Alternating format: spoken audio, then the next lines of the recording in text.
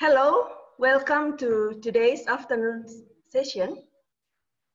Yesterday, we have heard about indirect detection. And now it's time for direct detection. I'm delighted to, to introduce our lecturer today, which is actually a special person for me because he was my former co-supervisor at the Technical University of Munich uh, decades back. yes, Professor Dr. Josef Jochum from the Kepler Center for Astro and Particle Physics of the University of Tübingen in Germany. Professor Jochum received his doctor in physics from the Technical University of Munich in Germany. His field of interests are in particle as well as astroparticle physics, including dark matter and neutrinos, and also detector development for astroparticle experiments. He has been involved in direct detection experiment, namely uh, CRESST for WIMP detection, and also in MADMAX, an axion, an axion uh, dark matter detector. He is also involved in neutrinoless double beta decay uh, detectors such as uh, Gerda and now Legend. Okay, uh, now let's invite Professor Jochum to deliver the lecture. Yes, sir. Yes, good afternoon. Actually, it's good morning for me. I am Germany. It's nine o'clock in the morning. Uh, thanks for having me uh, in your summer school. It's an honor to represent direct detections in this school. Yes, and uh, well, I, I suggest we just right away start. I try to share the screen once again. Let's see. So you should see the slides now. I go to presentation mode. Whoops. Just one. Okay, so uh, I think you can see it. Uh, you can also see the pointer. Let's see. So this is my pointer. Okay. Okay, so my the topic of my lecture today is uh, direct search for dark matter. Um, so of course, you know there is uh, there is dark matter in the universe, and uh, for me, as uh, coming from particle physics, the exciting thing of that it's uh, clearly pointing to physics beyond the standard model. Actually, uh, even after the era of LHC and all these accelerators, we have not found in the laboratory any proof of physics beyond the standard model, even if we believe it must be there, the only experimental or observational proof we have is actually dark matter. Maybe uh, the masses of neutrino is also hinting towards physics beyond the standard model, but the only solid proof that there should be something more than what we know about particle physics right now is actually dark matter. And that's why I, in the first part, uh, in my introduction, I would like to spend some time on, the question, why is dark matter physics beyond the standard model? And that leads us to uh, actually what we should look for. And then in the second, or in, in, in the later parts, uh, I actually go to the WIMP searches. So the two, the two particles I will discuss are WIMPs and a little bit at the end and axions as well. So, um, um, and uh, I will show you the main challenges in uh, the detector techniques, and then of course something on axions. But let's start right away with the introduction. Why is dark matter physics beyond the standard model? Okay, you all know the, the usual uh, hints and, and observational proofs of, of uh, of dark matter, it's the most classical one are the rotational curves around galaxies. So this is the orbital speed of objects orbiting around galaxies. And this speed, according to the Keplerian law, should fall off, but it doesn't. And that shows you there is more uh, centripetal force than, than uh, what we see. So there must be mass around this galaxy. And since we don't see it, we call it dark matter. So this is the kinematical proof then there is a thing like the bullet cluster, which in the bottom line shows you that the gravitational potential can be where the visible matter is not. So the visible matter is here, but the center of the gravity potential is, is somewhere else. And that is strange. This cannot be. So the center of gravity must be produced by something else which we do not see, and that's the dark matter. Another nice uh, illustration are the gravitational lenses. So here you see some, some examples. Here you see these arcs, which, is, which are the light from more distant galaxies than the one you see in the foreground. Uh, but the light of these distant galaxies is bent by the mass, by the gravity field of these uh, galaxies here. And uh, there is a relation between the radius of these arcs and the mass of the lens of this galaxy cluster.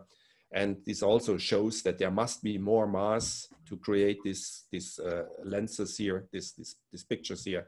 There must be more mass than we see. Okay, these are the standard, let's say, kinematical uh, proofs for dark matter. But the one I like most, and I think the most convincing actually, which brings it beyond uh, standard model, comes from cosmic microwave background. So the cosmic microwave background was created in the early universe. When the universe was hot, uh, protons and electrons were still separated. But uh, at the time of 380,000 years after the Big Bang, they combined to hydrogen and produced photons. Uh, um, before, of course, they could produce that as well, but the universe was hot enough, so it had high enough energy photons to break the hydrogen again. So this was the time when, when it cooled down, so the hydrogen remained stable. We call that the recombination, but actually it was the first combination protons and electrons did, so it actually was the combination. Recombination only can occur later. But okay, so the, the, the thing is that before that happens, you have the universe full of charged particles and photons scatter on these particles. So the universe is intransparent. Photons cannot travel very far. After that happened, you have only uh, uh, uncharged particles, the hydrogens, and the photons have a, have a very long mean free path. So the universe is then transparent. So if we look, if we, if we are here and we look further, further away, we also look earlier and earlier in the history of the universe, we see a transparent universe until we come to the time when this happened. And then we see a transition from a transparent universe to an intransparent universe. And this surface of last scattering, what we see, that's what we, where we see the anisotropy of the cosmic microwave background. So we can measure the microwaves coming from this surface of last scattering which show a perfect black body at two or roughly three Kelvin, which shows us that the universe was a thousand times smaller at that time.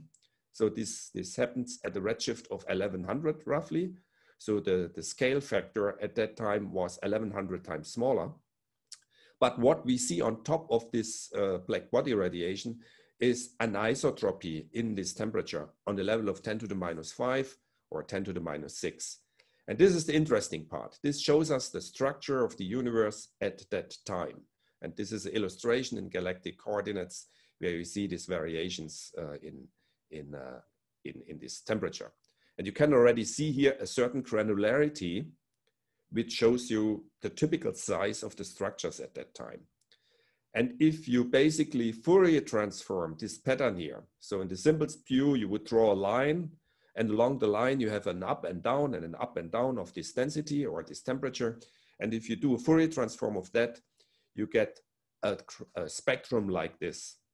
And this is a famous cosmic microwave multipole spectrum. So here are multipoles. So this means the Fourier coefficient. So a high multipole means a high frequency. So these are small structures here. A small multipole L means a large structure. And this is basically the intensity of this structure. And you see peaks in this spectrum.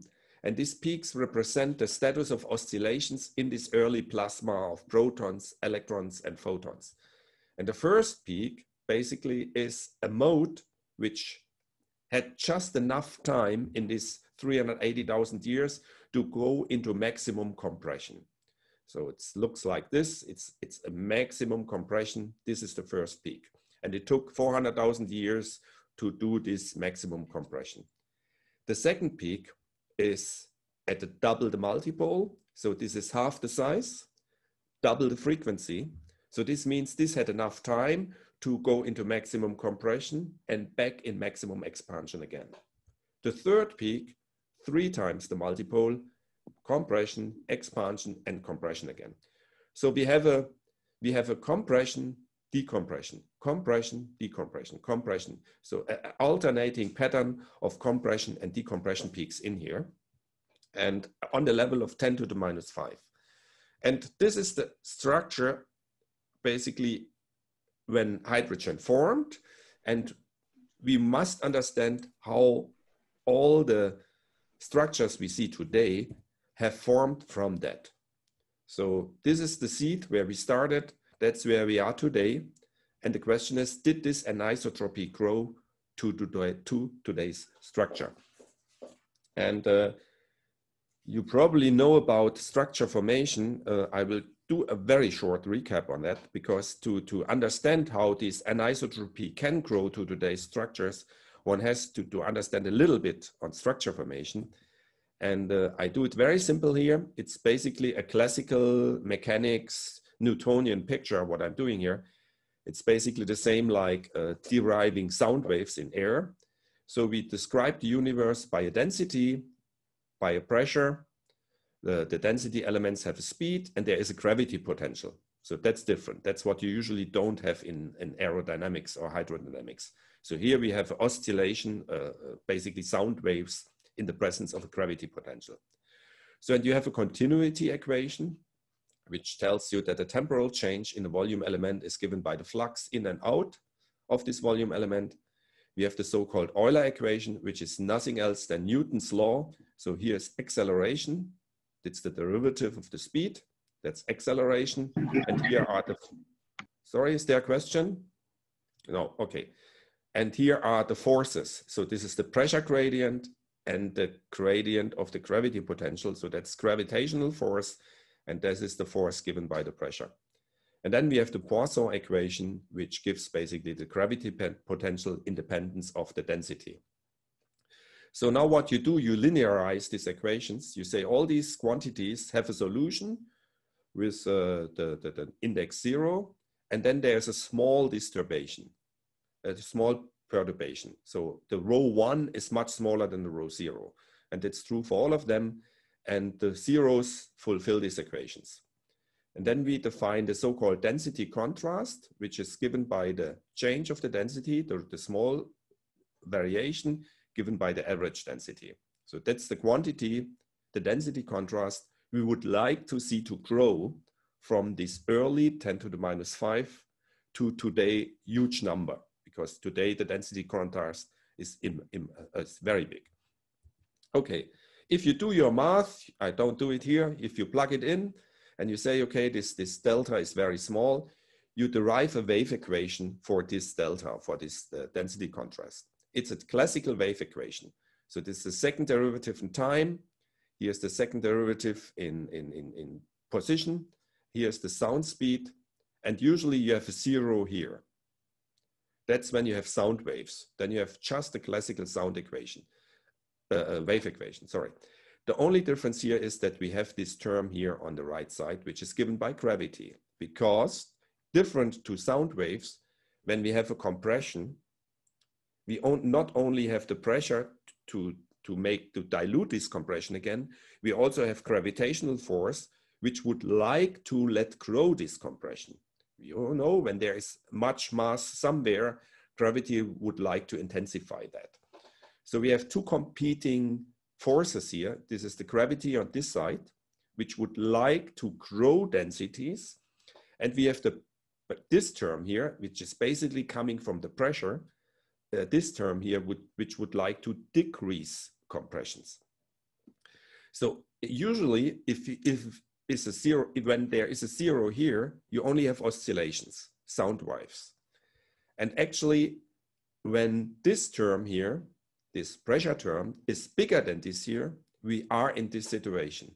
Then densities only oscillate. We only have sound waves. That's what we see in this pattern of the cosmic microwave background. And we have no structure growth.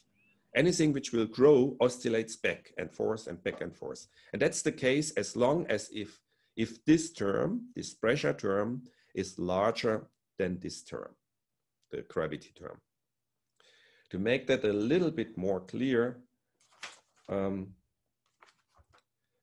um, okay, I, it's it's just uh, when you when you go in with into this wave equation, if you go in with uh, plane waves, you find this dispersion relation, and uh, you you see the temporal behavior, which gives you oscillations or not. This omega is uh, positive or negative, or it's imaginary or real, depending if this term is larger than this term or not. This leads you to uh, a maximum k or a minimum lambda, which you might know as the Jeans length. So this argument leads you to the Jeans length or the, the Jeans mass. You need a certain minimum mass or object must to have a certain minimum size to collapse. Otherwise, we will not have no have not structure growth. Okay, but again, so we have this wave equation and it only oscillates if this term is larger than this term.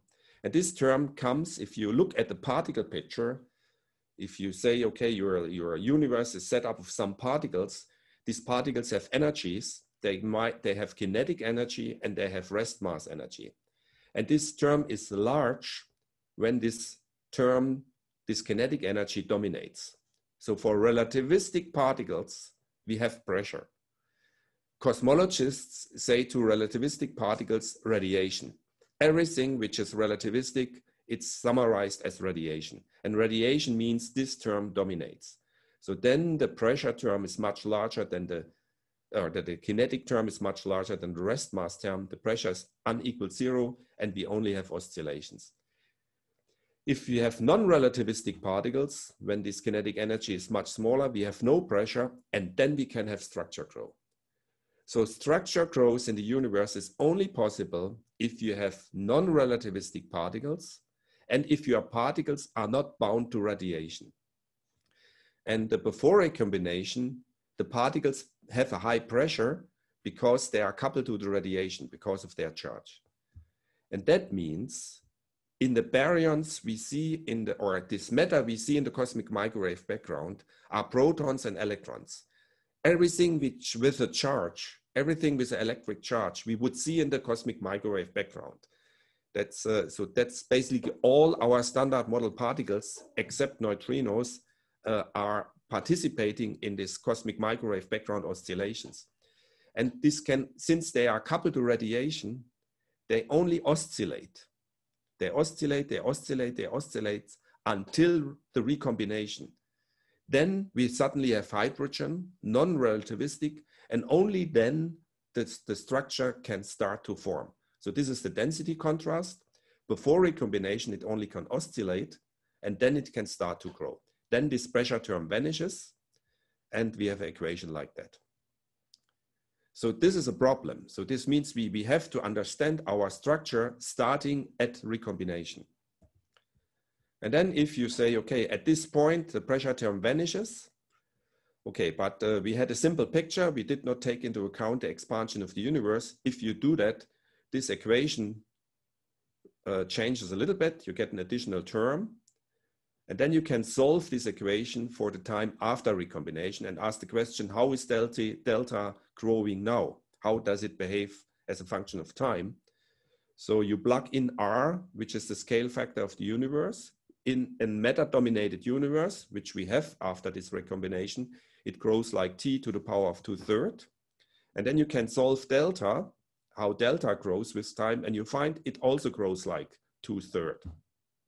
So this means when the density contrast starts to grow, it grows proportional to R. This tells us that since the recombination, R has grown by a factor of 1000 or 1100. So this means delta grows from recombination to today by a factor of 1000. Okay, if you take 10 to the minus 5, which we see here, times 1100, you end up at 10 to the minus 2. 10 to the minus 2 variation in density. This is a 1% variation on a homogeneous, otherwise homogeneous universe. That's not what we see today we see today a, a, huge number. We need this number must be 10 to the 4 or 10 to the 5, not 10 to the minus 2. So from the baryons we see here, we cannot understand how this structure of today can have grown. It's impossible to grow that in that time. So the only way out is that there must have been an at least 100 times larger anisotropy, which we cannot see in the CMB. If there was such a large anisotropy, if there was already at recombination, then it must be made out of particles without electromagnetic interaction. Otherwise, we could see it in the cosmic microwave background. So the only way out here is that we have a dark matter, meaning a matter without electromagnetic interaction, which started structure formation much earlier. So the picture then is we have this dark matter starting structure formation because had no pressure. Then the, the electromagnetic interacting matter, cosmologists call that baryonic dark, uh, baryonic matter. So the baryonic matter oscillates, oscillates, oscillates, oscillates. After recombination, also this baryonic matter can form structures, but it falls into the structures the dark matter has already prepared. And the only electromagnetic, uh, electromagnetic particles in the standard model are neutrinos. But the neutrinos are still relativistic at the time of recombination. Their pressure term is still too big at that time. So they cannot be the solution. We need something which is non-relativistic long before that. And that usually tells, asks for heavier dark matter, or at least dark matter which is non-relativistic at that time. Okay, so if that is the case, then these oscillations which we saw before, these compressions and these expansions and these compressions, these are compressions of baryons which fall into the potential wells prepared by the dark matter.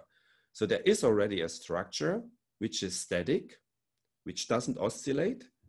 And the baryonic oscillations we see fall into these wells and have to climb out of these wells. So, and if you look at the pattern here and you draw an average exponential decay of, this, of these peaks, you see that if you draw such a line, the first and the third peak is higher, the second and the fourth peak is lower. And that shows what I'm saying that, or actually this, this, this is a visible proof of dark matter actually, because it tells you that the compression peaks somehow are enhanced by something and the decompression peaks are weakened by something. And this discrepancy between the even and the odd peaks shows you that there is a structure, a static structure of non-charged matter already existing when this oscillations happens. So there are charged parts, so the, the charged particles oscillate in a background of non-oscillating gravity field. So this gravity field is made of neutral particles, which started structure formation much, much earlier. And this is a proof. So here you can see dark matter by eye. And that's a proof of physics beyond the standard model must be at work here because the standard model doesn't provide the particles to explain that. Actually, this picture is much, much nicer if you draw it in a double logarithmic shape. Then this exponential decay is a line. And here you that's the same picture as before, just double logarithmic. And you see this, this discrepancy between the even and the odd peaks. So what we are looking for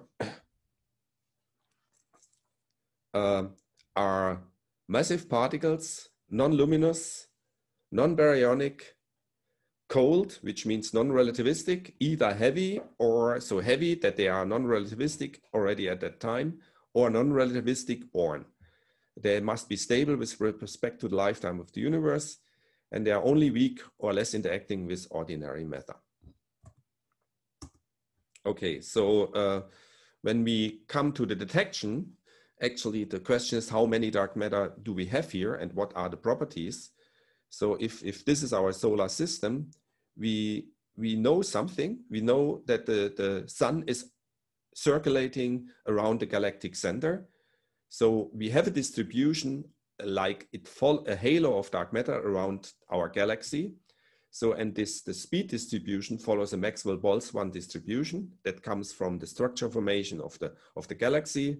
So it's actually not a thermal distribution, but it looks like a Maxwell-Boltzmann distribution.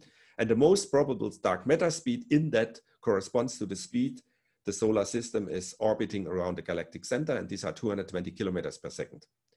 The escape velocity from, from our galaxy is 540 kilometers per second. So any particle which is faster than this can evaporate away from our galaxy. So we, we assume the distribution to be cut off um, there. And then there is a variation in the speed distribution of a few percent due to the orbiting Earth around the sun. So in summer, our speed adds to the speed of the sun. In winter, it is subtracted. And then uh, if this is a picture of the Milky Way from above, we are somewhere here. And uh, from simulations and calculations and measurements of the rotational speeds in, in, of objects in our galaxy, we can derive the density of dark matter at our position. And this corresponds to 0.3 GeV, GeV per cubic centimeters. So this means if we have a 100 GeV dark matter particle, we must have three per liter. So if you have one liter, a bottle of one liter, so this is roughly one liter. And uh, if the dark matter particles have 100 GeV, there are three particles in this bottle all the time, but they are not static. They have a speed uh, which, which, uh, which is given basically by, by the rotational speed of the Earth around the sun. Okay, the next uh, thing uh, is what are the candidates?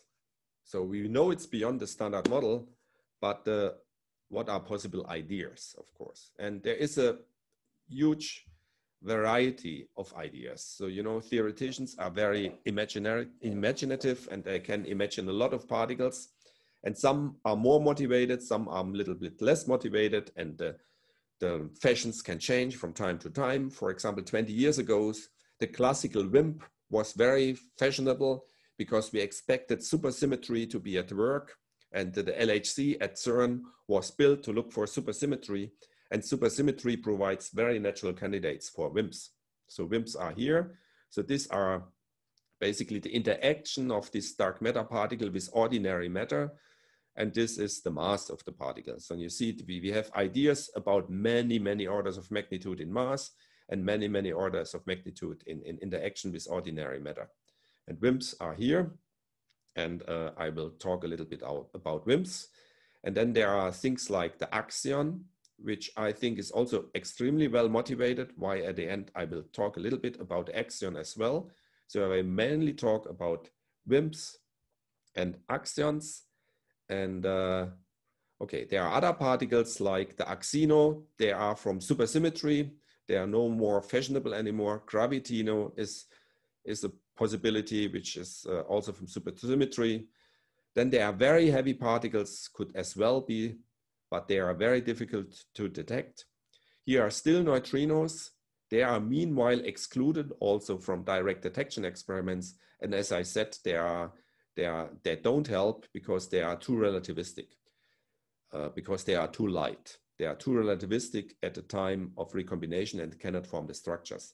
Axions actually are even lighter but their production mechanism is such that they are born cold they are born non-relativistic. So that's an escape from having a light mass but still being a heavy a cold dark matter candidate. Okay so then let's come to the next point, which is uh, uh, WIMP searches. So let me see where we are in time. So I better jump here a little bit. Let's see, 30. Sorry, I'm. Uh... Okay, so what are we looking for? We are looking for direct detection means we hope this WIMP is there and this, this hope is justified because the Earth sits in the Milky Way and the Milky Way is embedded in a halo of dark matter.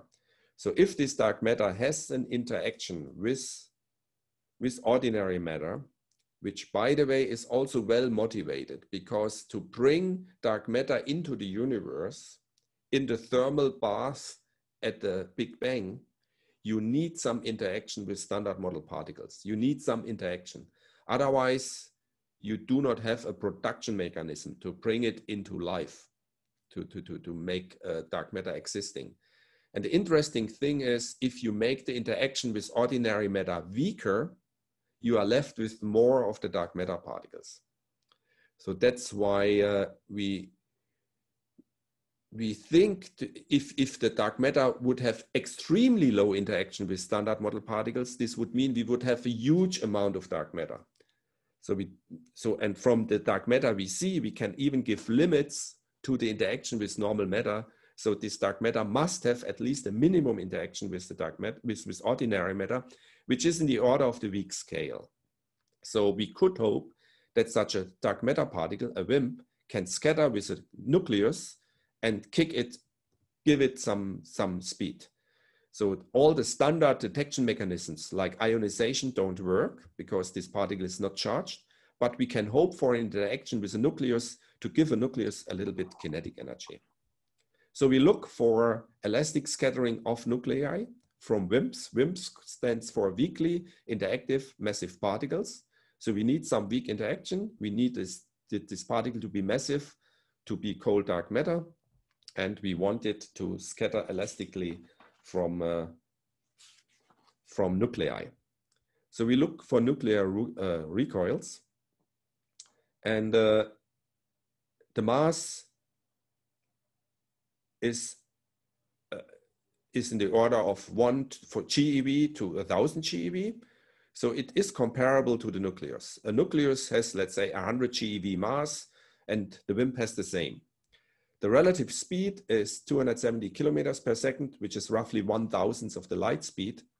And if this WIMP is as heavy as the nucleus, the maximum kinetic energy transfer is that the WIMP transfers all its kinetic energy to the, to the nucleus, and this is a few keV of energy.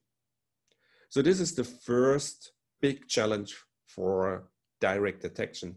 A few keV energy is a very low energy for detectors.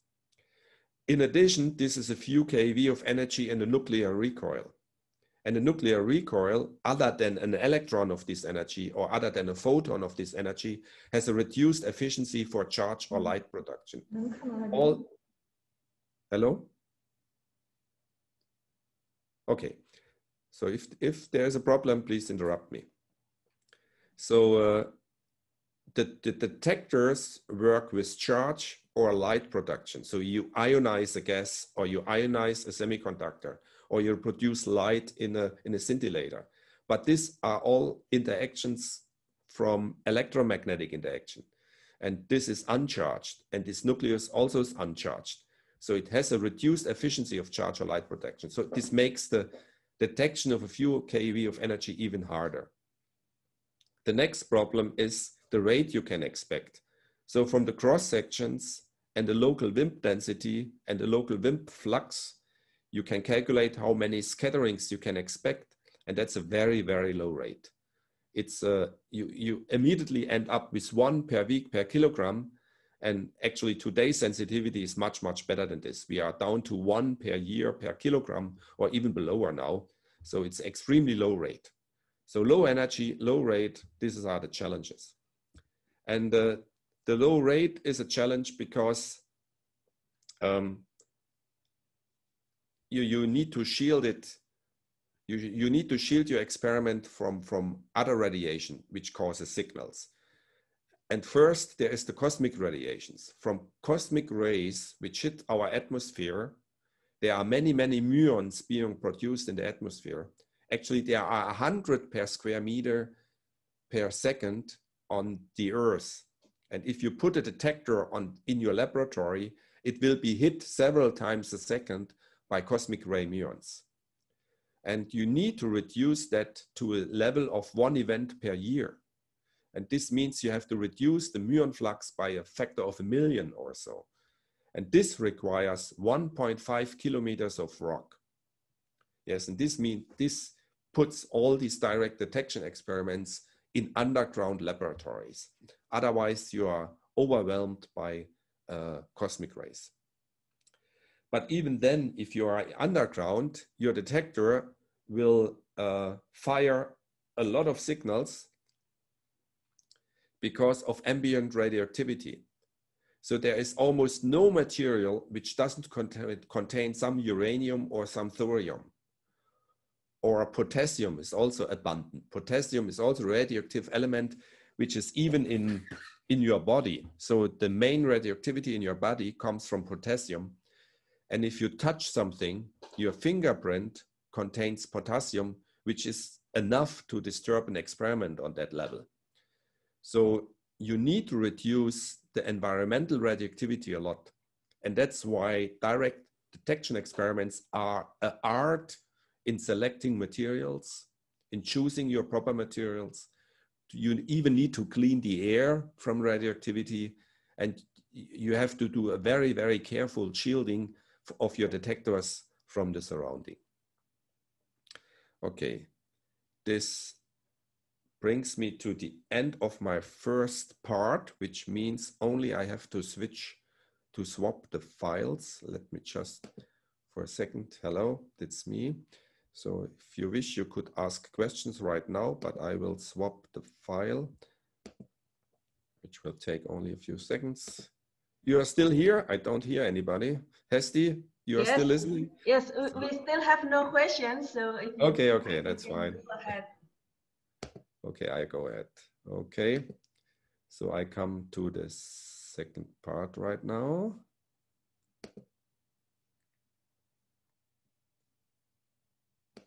So I have always 45 minutes slots or, uh, of files. That's why, okay, now we are in the second part. And I think I have time to go into an example of background just to illustrate what it means. Um, let me spend a few minutes on, on one of the examples. So we want to see a few counts per day in an experiment. That's actually a picture of the CRESST experiment. This is a cryostat. I will come to that later. And uh, so as I said, the surrounding of your laboratory has uranium in it. And uh, we need a lot of shielding against these gammas. Since we need a lot of shielding against gammas anyway, it's enough to consider the highest energy gamma because we need to shield the highest energy gamma. The, then the low energies gammas will also be shielded away. So if you have a thick shielding, all the low energies is shielded, but the highest energy is the most penetrating. And the highest energy gamma in the uranium thorium chains is a 2.6 MeV gamma from, uh, from thallium. And uh, okay, here are the numbers, but if you go through the numbers, you will find that one gram of thallium produces four, sorry, one gram of thorium produces of this 2.6 MeV, four times 10 to the 10 counts per day. So one gram brings you 40 billion counts per day. So this is the number. Now, contaminations of thorium in rock, let's look for rock because we are in an underground laboratory. So we have rock around us. So typical contamination of thorium in rock is 10 to the minus 6 grams per gram. So one, one gram in one ton of material. So the laboratory, let's have the laboratory, make it simple. Let be the laboratory a cube of 10 by 10 by 10 meters. This means we see 600 yes, square meters. Yes, yes? sorry. Uh, Can you change the mode be, because we can see your notices? ah, we see. Ah, sorry. Ah, this is okay. Sorry, I. You see my notes. Okay, let me just uh, stop. Okay, you're right. Thank you. I should have realized. I see it. I don't know why this happened, but let's see. I have to stop this, I guess. Okay. Thanks for telling me. So that's uh, okay. Let me try again. So we go back to the background. So now. Okay. Uh, it's it's still you still see, and I I but I need my I need this you. So now you should now it's fine, all right? Yes. Okay. Okay. Thank you. So let me let me go back again. So we we I told you that one gram of thorium produces these four times ten to the ten counts, and then uh, rock has a contamination of ten to the minus six grams of thorium per gram of rock. Then the lab has a size of 10 by 10 by 10 meters, which means we see 600 square meters of rock around us. A 2.6 MeV gamma has in rock roughly a mean free path of five centimeters. So we see the rock in this light of this photon five centimeter deep. So we see 600 square meters by five centimeters. We basically see these are 30 cubic meters of rock are visible in this gamma light. So these are 100 tons of rock around us emitting these photons.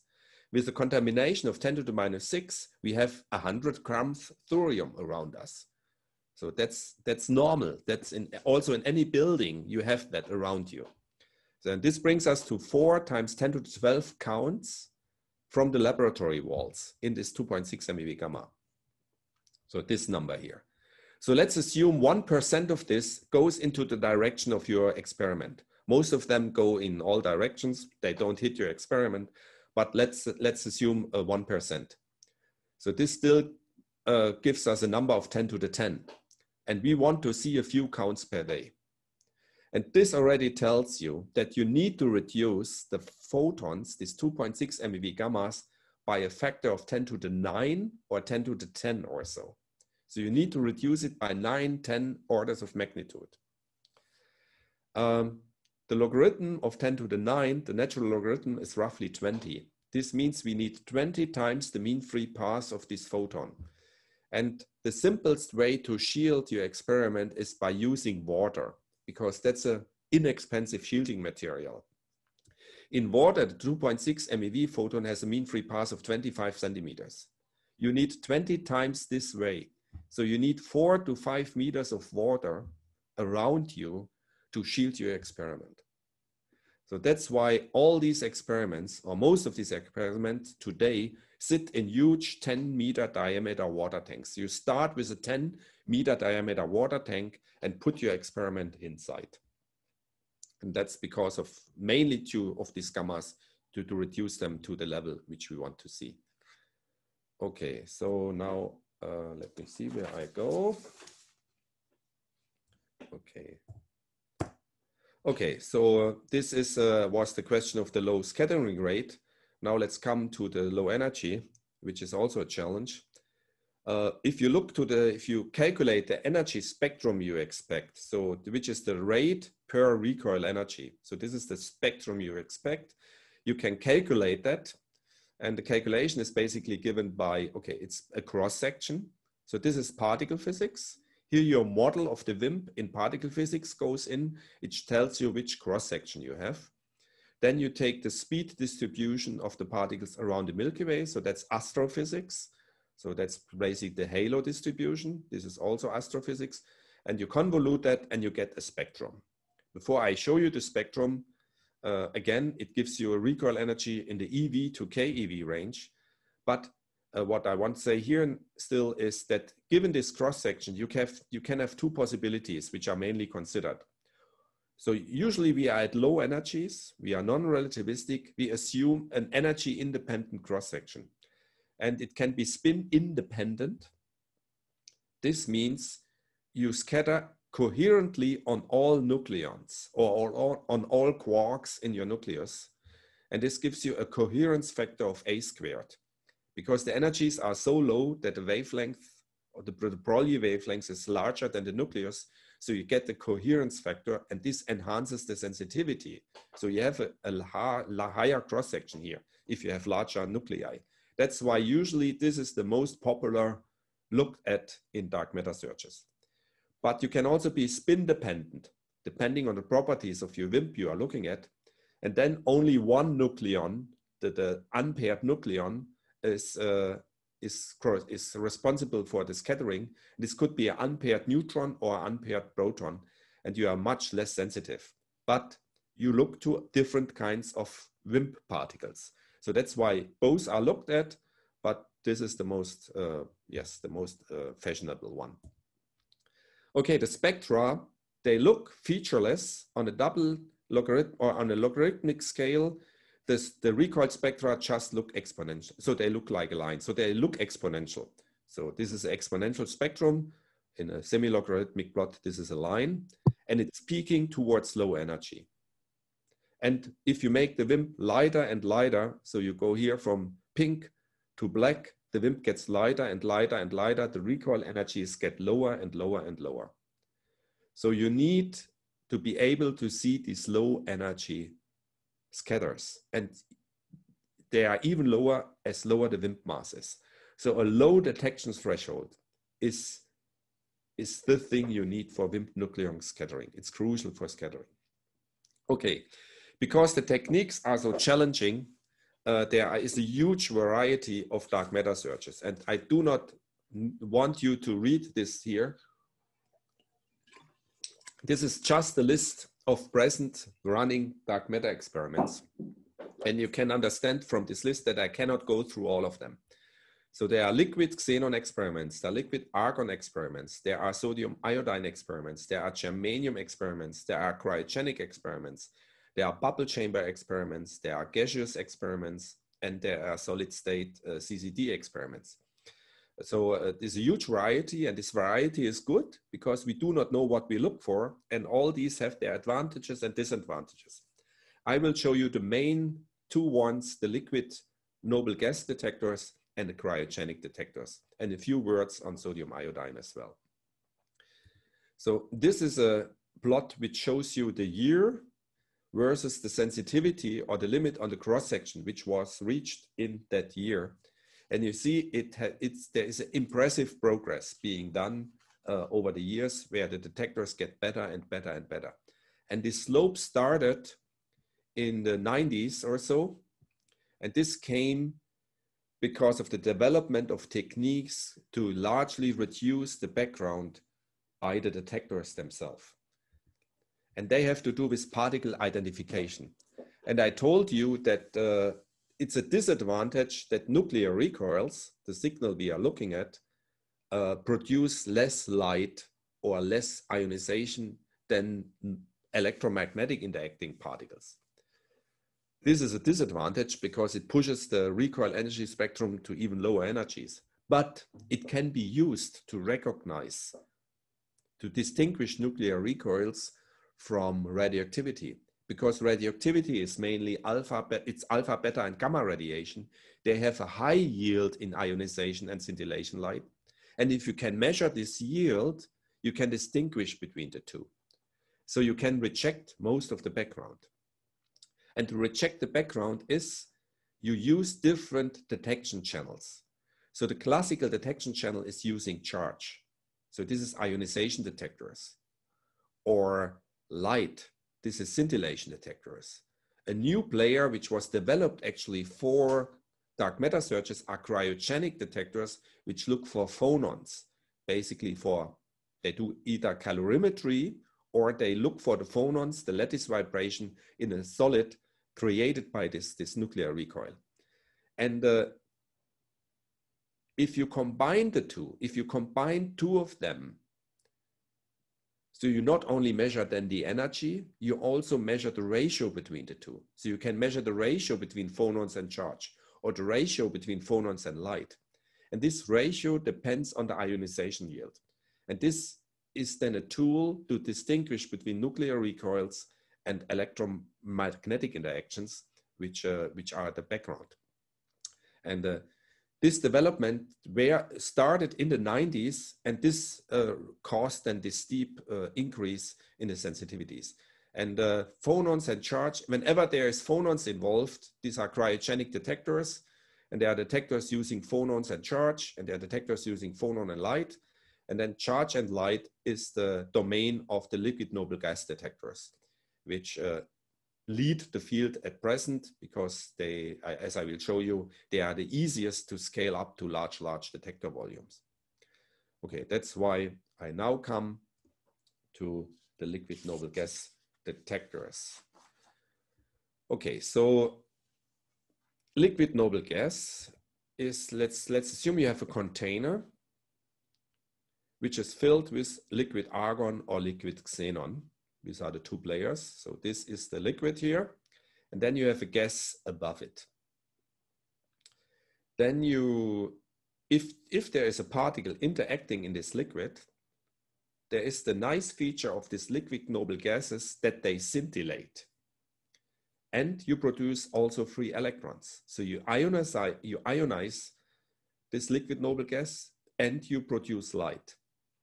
The light you can immediately detect with photomultipliers. So there is a photomultiplier array at the top and there's a photomultiplier array at the bottom. And you can see in the top and the bottom, you see the hit pattern of the photons being emitted from this event.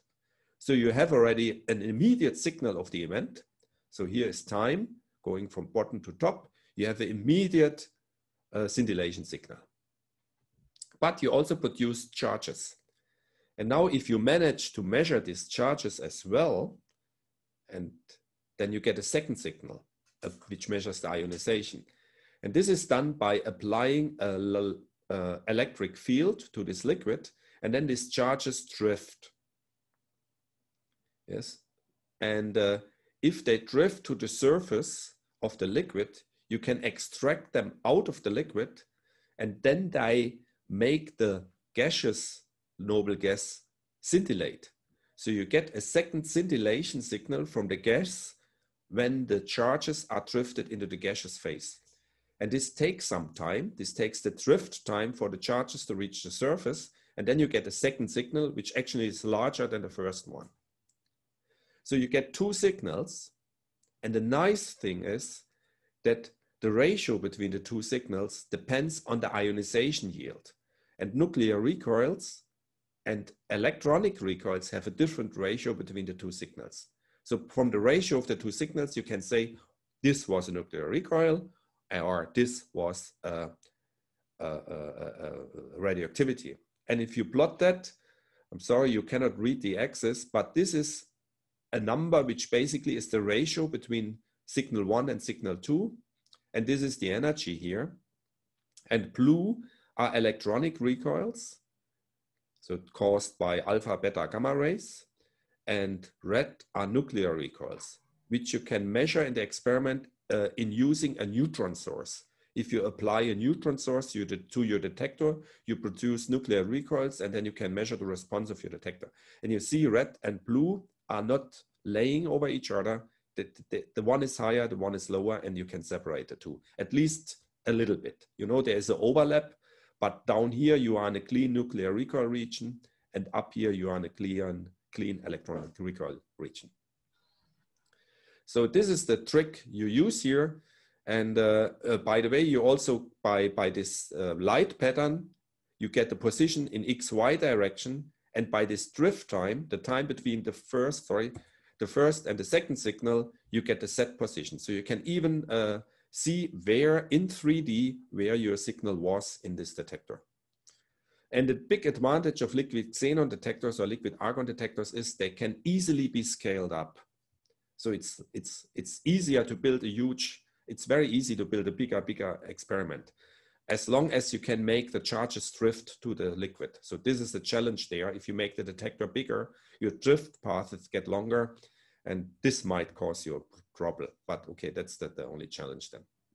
Okay, and uh, the experiments are the Xenon experiment, which is a US European collaboration, and it's at Gran Sasso. It has already results of a one ton detector and is presently preparing uh, several ton detectors. And there are other several ton detectors in preparation. One is LZ at, uh, at US. This is led by US and UK institutions. And then there's PandaX in China. This is xenon experiments. There are also argon experiments, namely most famous is the DarkSide, also proposing a ton scale uh, uh, liquid argon detector. It's being set up at Gran Sasso and there's Deep Clean uh, at SNOLAB. They have already a, a one ton detector running. Okay, but as an example, I would like to show you uh, the, the xenon experiment. Uh, I'm at time. Okay, I'm a little late, I guess. Okay, it's the xenon experiment. This is sketch. So this is the tank where the detector sits in, in the water. So this is the 10 meter, meter tank. The detector is in here, well shielded through the, the water. Then there is an additional housing which contains a purification system. So another advantage of liquids is you can circulate a liquid and continuously purify it. Then you have a data acquisition and some storage. Xenon is an experiment, is a huge experiment. There's a worldwide collaboration of, of, you see, almost 30 institutions. And uh, it started already uh, yes, 15 years ago or 20 years ago with a 15 kilogram prototype. Then it increased in size. We are presently here and they are preparing this six ton device at Gran Sasso uh, in Italy. And the, the, while the active mass increased, the sensitivity, so the background was reduced and reduced and reduced. And you see here, we are on a level, this says background in the region of interest in events per ton per year per KEV. We are on the level of a few hundred events per ton per year. So this is less than one count per year in a kilogram detector. This is, this is fantastic. If you run a kilogram of detector in your lab at the university, you have a thousand counts per, per second, and they have less than one per year. So this is a huge achievement in, in sensitivity. And that's what you need to look for dark matter particles. Okay, what they do, they measure a while, and then they have this plane of the ratio of these two signals and the, the, the nuclear recoil energy. They have um, a region where they expect background, and they have a region where they expect the WIMPs. These are these black lines, these black contours, contours and this yellowish is where they expect the background.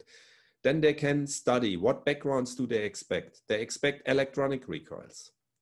They expect neutrons. Also radioactivity in the surrounding laboratory wall produces neutrons. They expect, they expect neutrinos from the sun. The solar neutrinos also can scatter in these detectors. And uh, maybe in 10 years of now, this will be a background. Uh, today, it's it's still so you so here you see the numbers they expect they expect very low numbers so less than one count so the, but from electron recoils they expect something and from neutrons they expect something and these different columns here is if they use the full detector or if they do a cut in the positioning so if you cut away the surfaces most of the background the electron recoils mainly come from the surface of the detector they come from outside into the tank so you see, if you take the full tank, they have this number. But if they cut and take a smaller radius, and they can do that because they have this 3D position resol uh, resolution, you so the number goes much, much down. Okay, and, and from the expectations, how these backgrounds are distributed and so on, they do a likelihood analysis where, where they have the best chances to see a WIMPs versus the, the background, and then they define a region of interest in this plot. So these are these two red lines here. Uh, sorry, you do not see it. I, I use my pointer. So these are these two red lines here uh, where they expect the WIMPs. And these are the backgrounds here. So this is the best region where they expect the WIMPs. And what they do, so this is the data. So they expose their one ton detector for two years or so.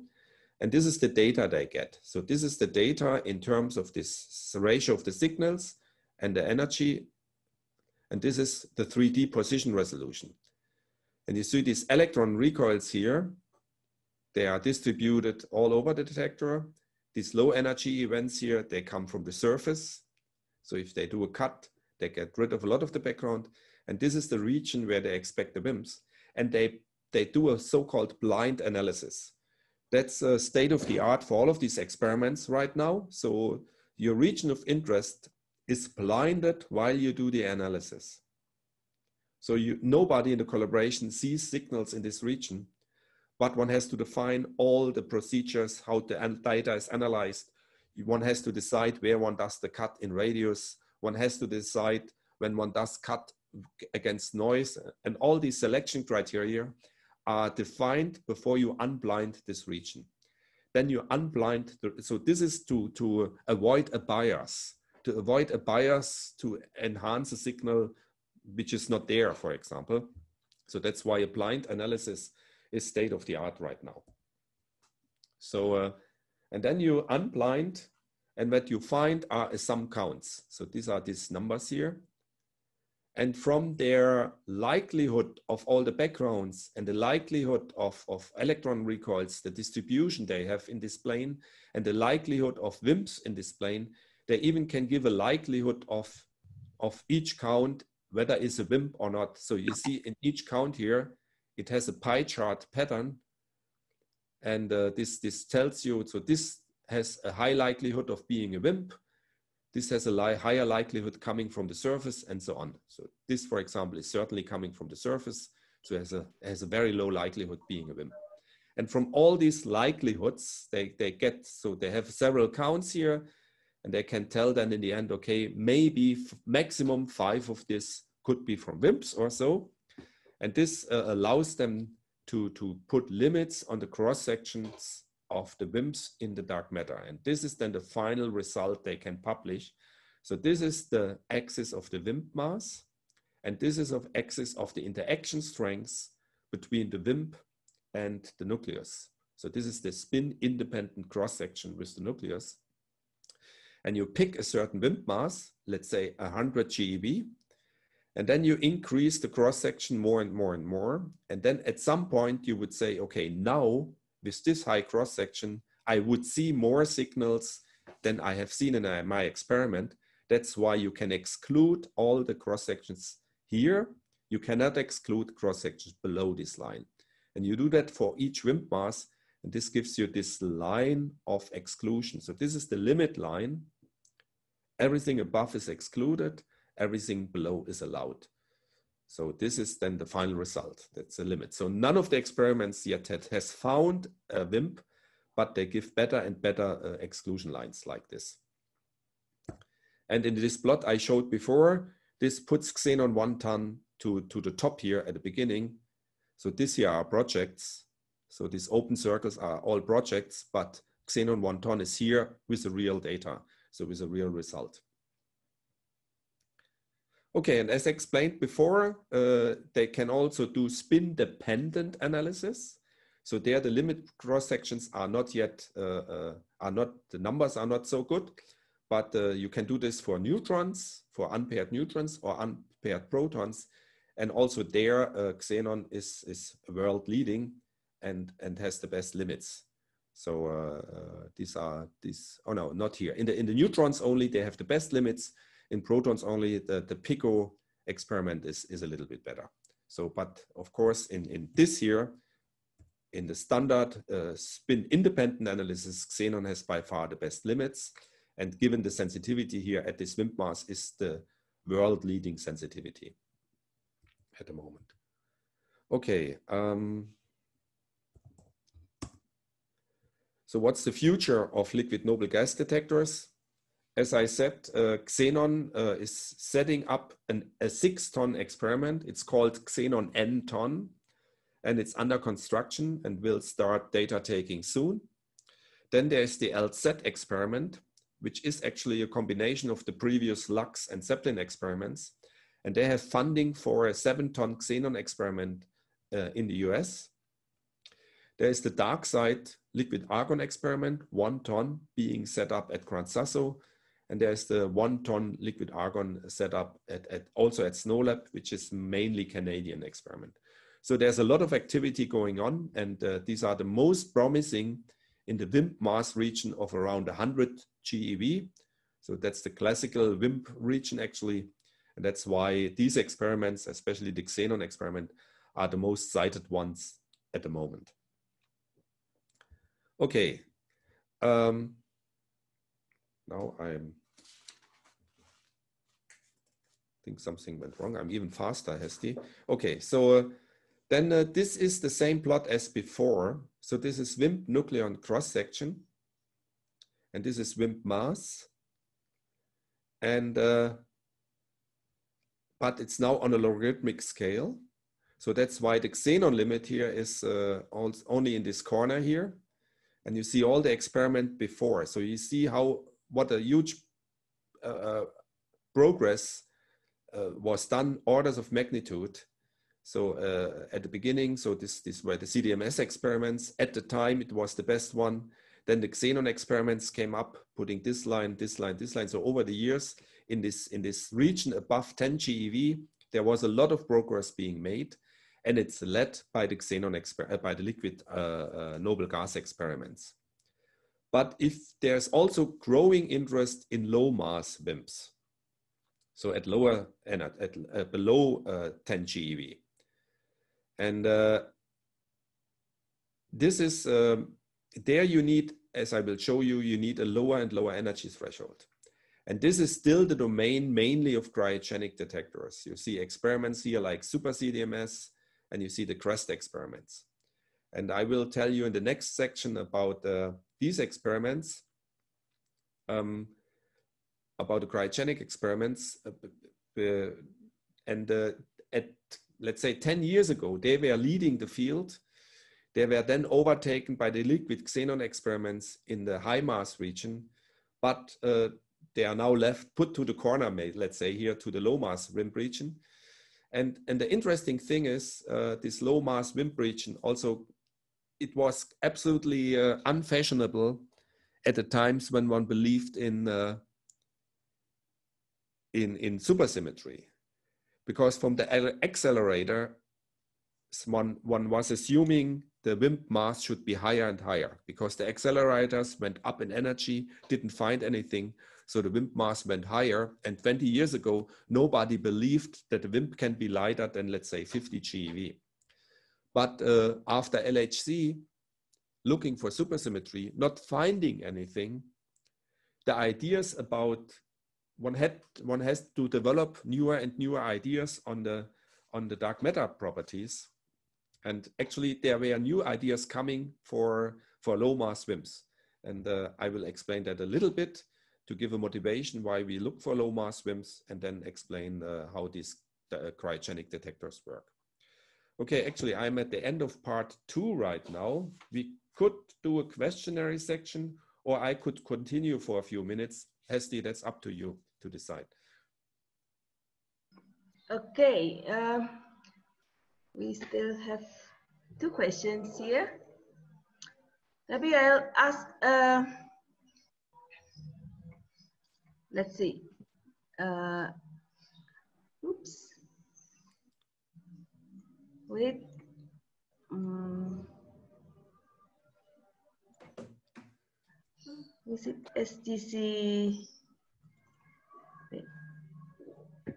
So maybe the first question um, from Hassan Zaki Yusuf. Hello. Yes. Hello. You, you want to ask your question by yourself? Uh, yeah, I got my question, but I think it's already answered. Uh, the, okay. I'm gonna rephrase. I think uh, say the question. Uh, is there any mega projects such as CERN, LIGO that try to find uh, dark matter by direct detection right now? Because I'm trying to maybe try to follow, see the story, what are they doing, try to find further information about it. But you already said about xenon and stuff, but maybe if you want to yes. say it again, it's up to you. Yes. But I think yeah, you so, answered the question. Yeah, so the biggest projects at the moment are Xenon, LZ, and DarkSide. And actually, there is uh, something beyond which I didn't mention yet. So there are plans. Um, there are plans to put after the next round. So when when all the experiments have finished their, let's say, five ton or six ton detectors, there are plans to put all the efforts together actually all the experiments would like to combine their forces afterwards to build a, a huge, let's say several 10 tons, 30 ton detector. And that's called Darwin. Darwin? Darwin, yes. If you if you Google Darwin dark matter searches, this is is still okay. This is still an idea. It's still in the design phase, but it's being prepared, and there's already funding for it. So if you if you would like to do a, a career in dark matter searches in direct detection, you should probably look to Darwin. Yes. That's good Yes. Thank you. Yes. And the, the idea is to, to go even bigger. Yes. And, uh, and then uh, to, do, to, to do a 10 ton experiment or a 20 ton experiment. And it's still open if it's xenon. Of course, there are experimental issues between xenon and argon. So uh, this is still open if it's xenon or argon in the end. Okay. Uh, second question is from Nishal Mahar Maharjan. Nishal Maharjan, are you here? Hello. Yes, please. Uh, thank you, Professor, for such a wonderful. Uh, so my question is, how confident can we be in the results produced by Xenon experiments if we only get few counts per ton per year? What does statistics look like in such experiments? Thank you. Okay, uh, that's an interesting question. So, uh, so you ask how confident can we be if we have only a few counts? So uh, the thing is, maybe I go back. Let's let me see. Uh, I try to uh, go back a little bit. So if I, um, okay, sorry, I, I have a problem here. I cannot, just a second. I have to stop something here.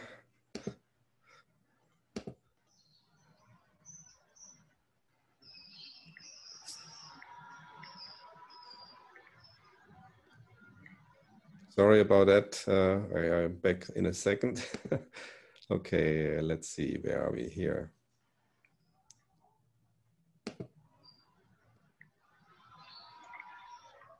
Okay, if you look at this picture here, okay, if you, so okay, so this is basically the result of the experiment. This is the ratio of the two signals, and this is the energy they measure. And the good thing is you have counts everywhere here. You have counts here, you have counts here. Of course, this is all background. You dislike that. But uh, we have some understanding of these backgrounds. And actually, so, so from the study of the spectrum of this background and the temporal behavior and so on, you can compare it to simulations, what you expect from the backgrounds. And from that, you can then see, okay, this looks exactly from what you expect. So you expect this distribution in space. You have some problems at the surface. So, but you expect that, and that's here at the surface and in energy is distributed everywhere. So this, this background it's a nuisance, but it tells you the detector works, it functions. And it tells you you would see a WIMP scatter. If a WIMP would scatter a nucleus, you would see it. And you would see it in this region. So from this, you can be extremely confident. You can not only be confident, you can prove it by experiment in using neutron sources. You can generate on purpose nuclear recoils and you find them here. That's actually which was done. Let me see if I can jump to that. I only need the number. Just a second.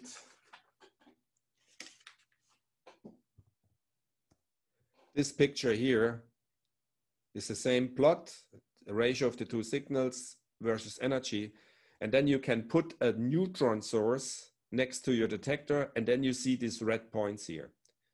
And these are the nuclear recoils. So you can prove, you can prove the detector works. That's the first thing which, which is very important. So that's you can be confident that you would see a WIMP if it had enough inaction strength. Then you see a few counts. Okay, and then you are unsure. Can you claim this is you have seen a WIMP? Or is there a certain likelihood that your backgrounds could generate these counts? And that's where the sensitivity comes in. Now you do a careful analysis and you say, okay, what's the likelihood that these backgrounds, which you have studied very well, what's the likelihood that, that these backgrounds can produce the counts you see here? Yes, and that gives you then the, the confidence, okay, if to a certain extent, this, this could be background, but if the WIMP would scatter more and more, it would be uh, it would show a higher rate. So you can so if you see five counts, you can exclude that the WIMP does 50. Or yes, that's you can exclude. And this gives you then this plot here. So this is the line of confidence where one can say, okay, a WIMP cannot scatter up here. Of course, so, so in this sense, if if your question was how confident can we be that the WIMP uh, is excluded in this region, I think we can be very, very confident. I believe that experiment. That's, that's carefully done, and they can experimentally prove that if a WIMP would scatter more than this, we would see it. Uh, the question is, however, restricted to a WIMP with, a certain, with certain properties.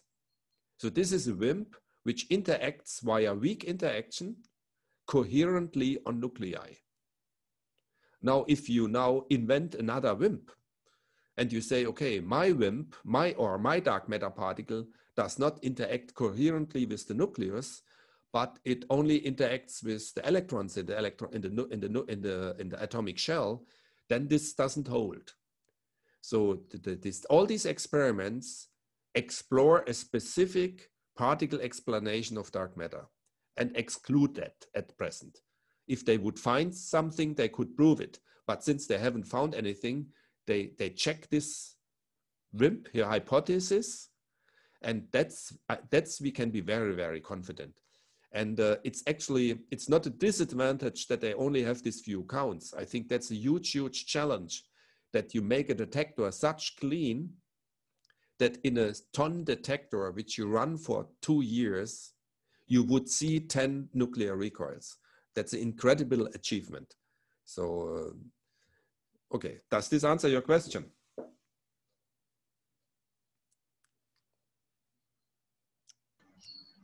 Nishal? That was very clear. Thank you very much. Okay. So uh, next is from Tan Wei Shen. Please. Um, okay. Um, can you explain how is the um, experiment process inside the detector? Um, for example, um, or any detector? So I did not fully understand what you asked. So you ask for the physics process in the detector. Uh, yeah, how is the experiment uh, process for the, in the detector? Uh, the experiment. So, uh, do you mean the physics process? So, I I could understand your question two ways. So, uh, one is let me see. So, uh, whoops. You see, this is the detector again. You ask me what. Okay, do you see my mouse? So you ask me what happens here in physics or physics wise, or you ask me what the physicists do with the signals.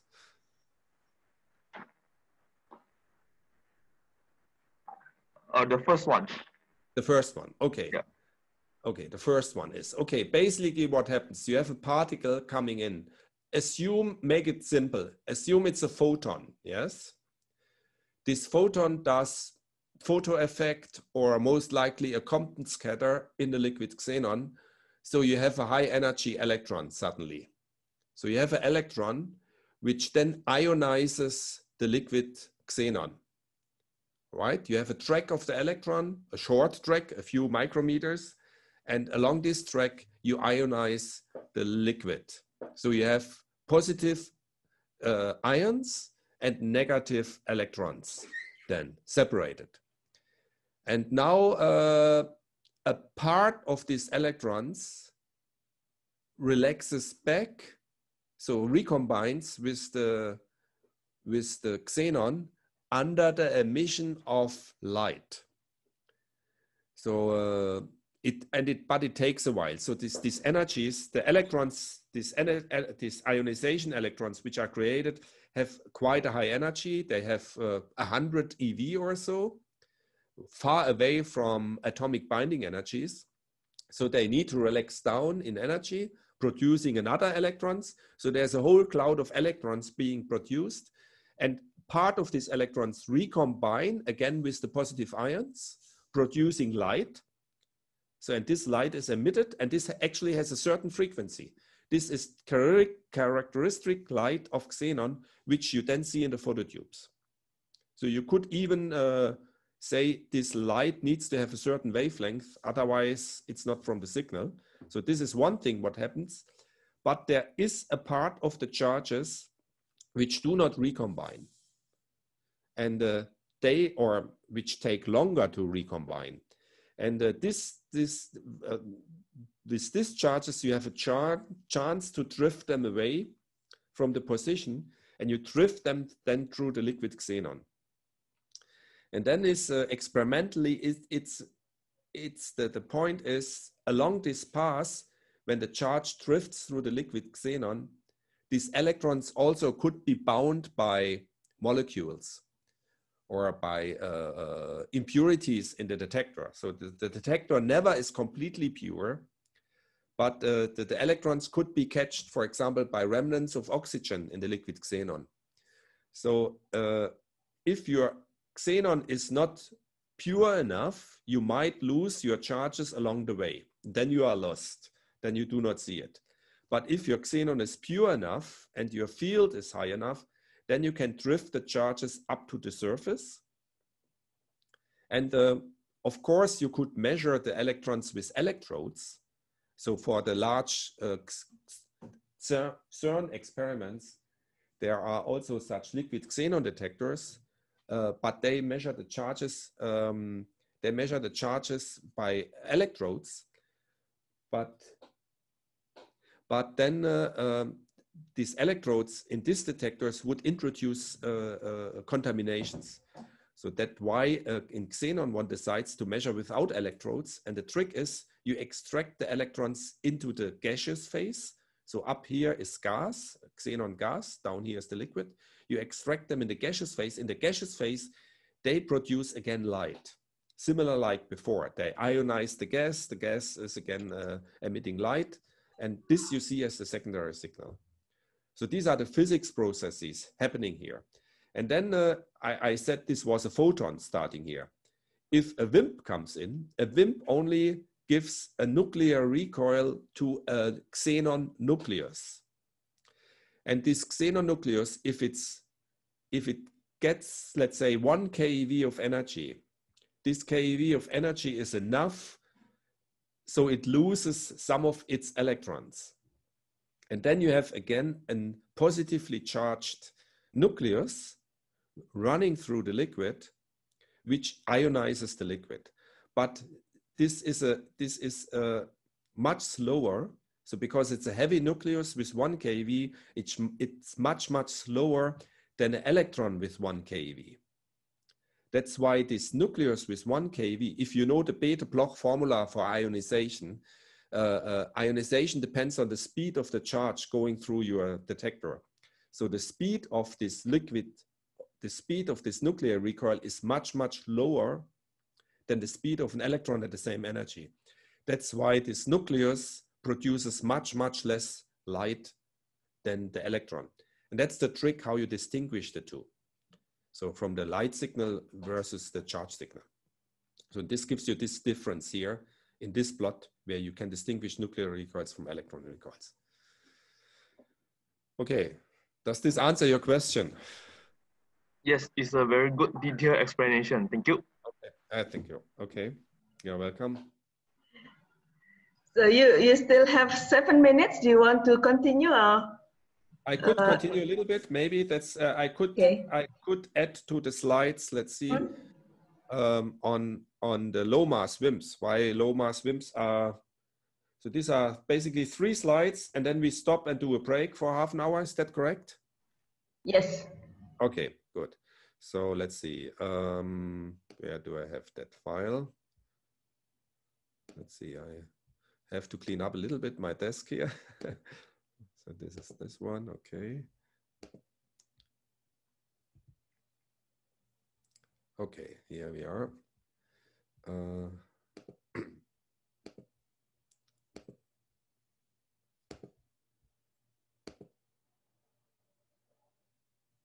or maybe, okay. Okay, no, I, I go with that, yes, okay. So So here again is this plot, which I showed before. So um, get the pointer and okay. So um, this is again the plot, uh, WIMP mass versus cross section on nuclei um, in a double logarithmic scale. So here is uh, above a few GeV is the region where the liquid noble gas detectors are the best ones.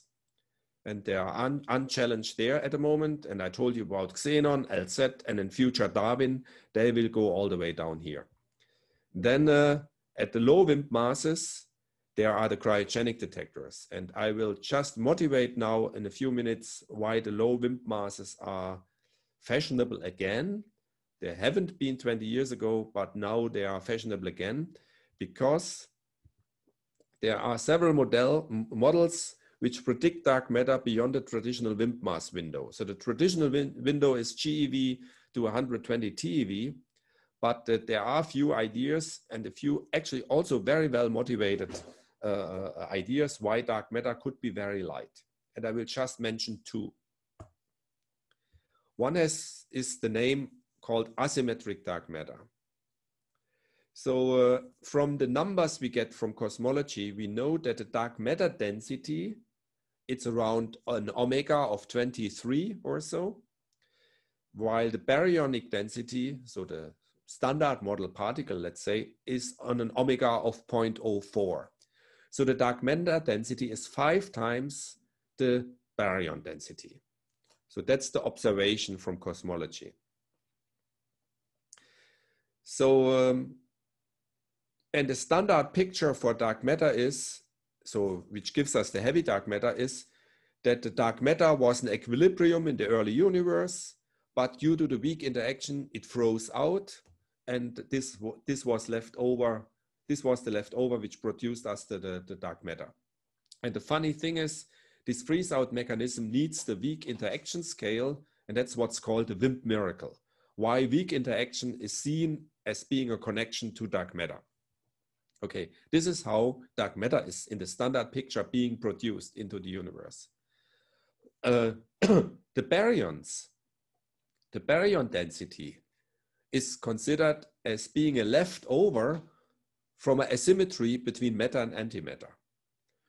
So the baryon density is, is related to CP violation. So the idea is in the early universe, we have matter and antimatter symmetric. Actually, the standard model, the standard model of particle physics expect the two be symmetric. And then uh, when the universe cools down, this matter and antimatter would completely annihilate and we would not be left with any matter at all. But there must have been a tiny asymmetry between matter and antimatter. So all the mat most of the matter and antimatter annihilated, but a little bit of matter didn't find antimatter to annihilate, had no partners. And this asymmetry is on a level of 10 to the minus 9. And this is also being measured in cosmology because the ratio between the number of baryons we have and the number of photons we have is 10 to the 9. So we see there was a huge annihilation at the beginning in the universe. All the matter and antimatter annihilated, 1 billion protons annihilated with antiprotons, but one out of 1 billion was left without partner. So this is a measurement, we see that. And the funny thing is that between the production of matter in the universe and the production of dark matter in the universe, in this picture, there's no relation.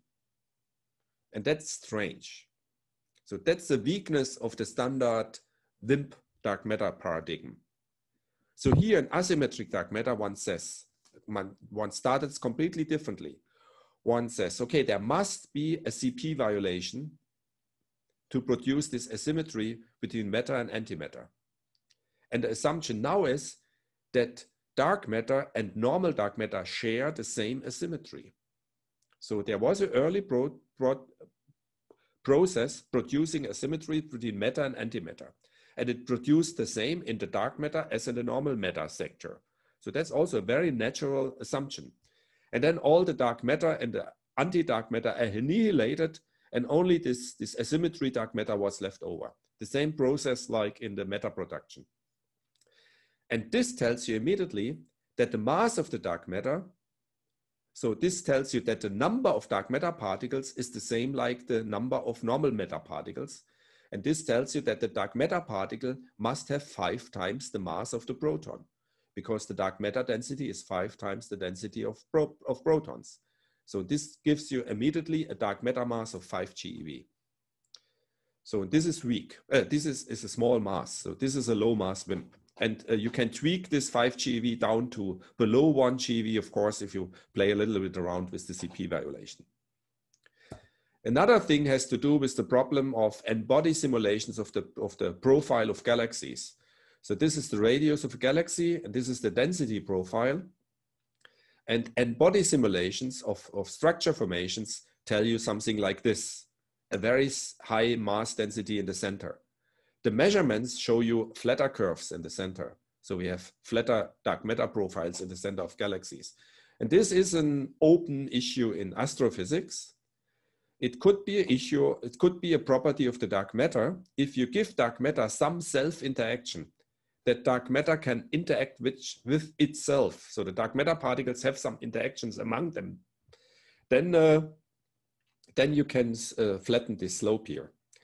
And uh, from the from the calculations then from the particle models which i cannot go into detail here this self-interacting dark matter also brings you in the uh, dark matter mass range of only 100 mev so this is a tenth of a gev and these are just two examples of why low dark matter mass searches get get uh, also start to test models reliable very reasonable models and this low mass region is very well motivated, as for example, by this, by this uh, asymmetric dark matter things. And the liquid xenon detectors have a hard time to get there because the energy threshold is not low enough. As I told you at the beginning, as lower the WIMP mass, the lower are the energies of the recoil. So in these exclusion plots, if this is your exclusion plot, this is cross section against uh, WIMP mass, Going this direction with your exclusion plot means you need a lower detection threshold. While going this direction needs, you need to reduce the overall background level. So of course you need both, you need also low background here, but the limit while these curves bend up here is, is due to the technical issue that all the detectors have an energy threshold. And only if you lower this threshold, you can go to the low WIMP masses. And this will bring me to cryogenic detectors after the break. Okay, and uh, I would stop here, Hesti, now. Okay, thank you very much, uh. We will have a break now, but before that, uh, it's uh, traditional to have group picture. Okay. so, Smile. Anton, can you help help us to uh, take yeah, okay, I will take picture. So please uh, open your uh, video on.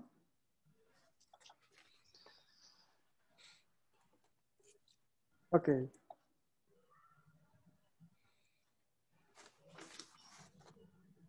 Okay, I will start to take a picture for slide one. Okay, one, two, three. Second slide. Okay, wait a minute. Mm-hmm. Second slide. Okay.